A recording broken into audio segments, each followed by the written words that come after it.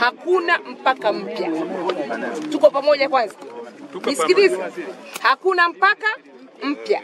La pili, kilichofanyika, tangazo la serikali hamna jipya.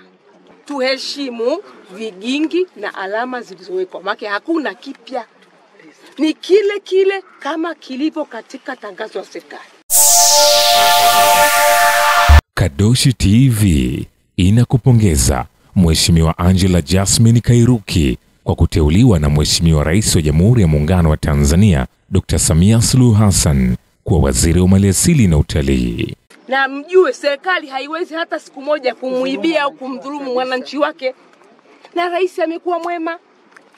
Mita mia tano za buffer zone kitaalam huwa zinatakiwa ziwachiwe kwenye hifadhi, ndio eneo ambalo wanyama wanapita huku na kule, ndio korido yao.